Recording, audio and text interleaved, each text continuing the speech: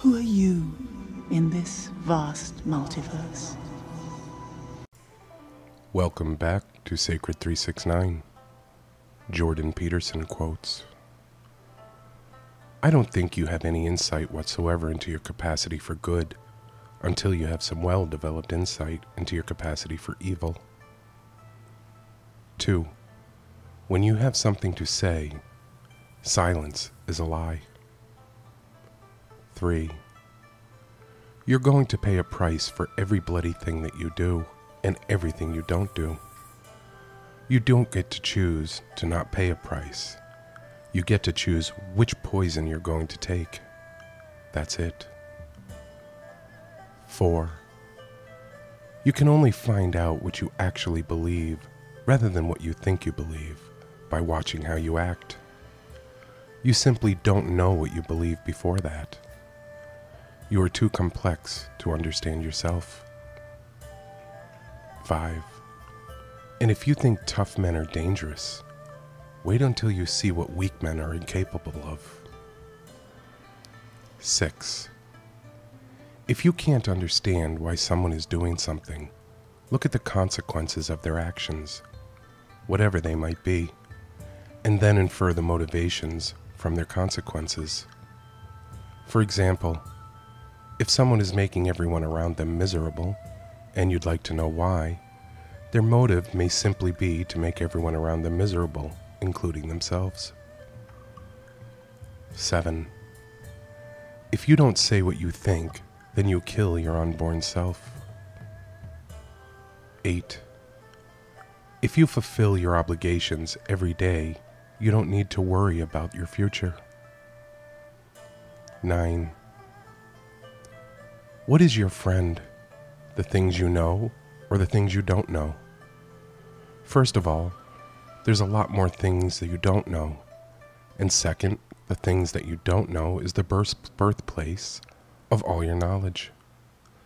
So if you make the things you don't know your friend rather than the things you know, well, then you always are on a quest in a sense. You're always looking for new information in the off chance that somebody who doesn't agree with you will tell you something you couldn't have figured out on your own. It's a completely different way of looking at the world. 10. It took untold generations to get where you are. A little gratitude might be in order. If you're going to insist on bending the world to your way, you better have your reasons. 11. Life is suffering. Love is the desire to see unnecessary suffering. Truth is the handmaiden of love. Dialogue is the pathway to truth. Humility is recognition of personal insufficiency and the willingness to learn. To learn is to die voluntarily and be born again in great ways and small.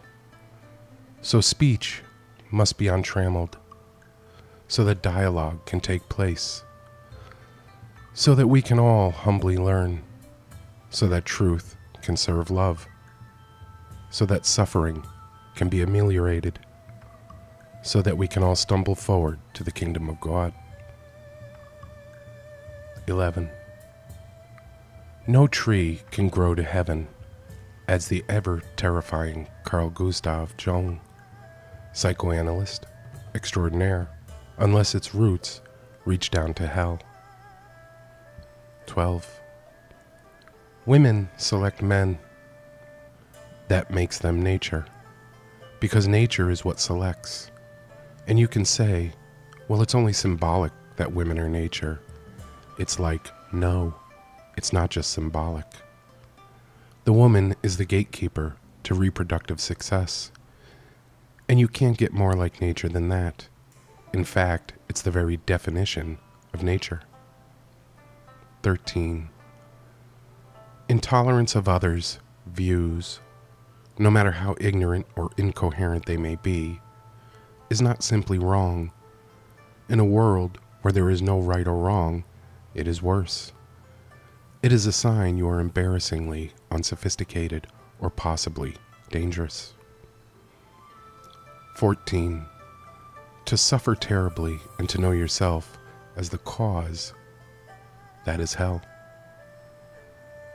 15. Don't underestimate the power of vision and direction.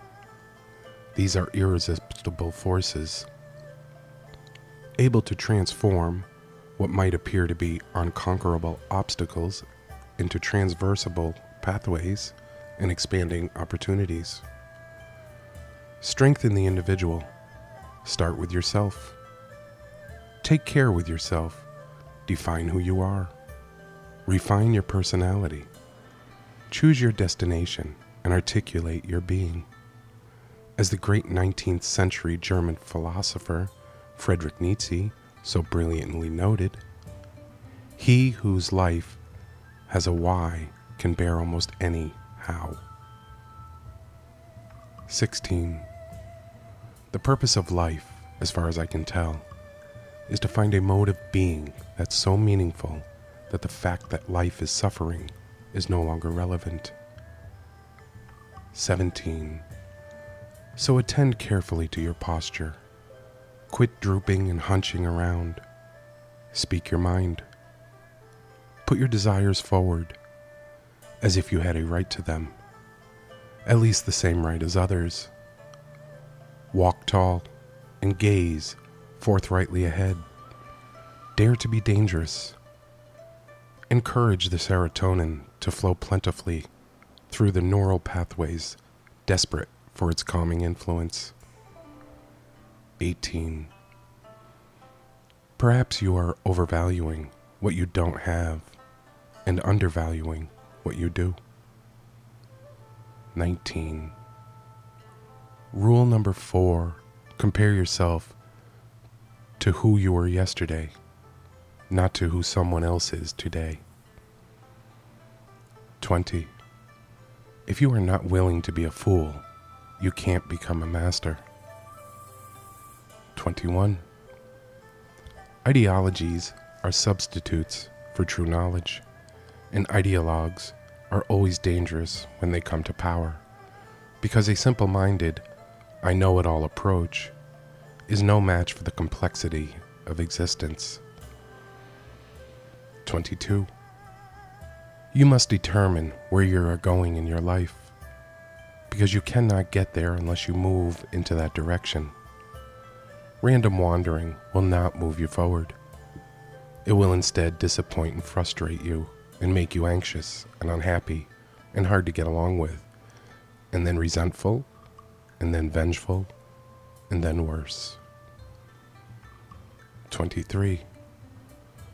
Compare yourself to who you were yesterday, not to who someone else is today. 24. In order to be able to think, you have to risk being offensive. 25. In the West, we have been withdrawing from our tradition, religion, and even nation centered cultures, partly to decrease the danger of group conflict. But we are increasingly falling prey to the desperation of meaninglessness and that is no improvement at all. Thank you for listening. Sacred 369. Who are you in this vast multiverse?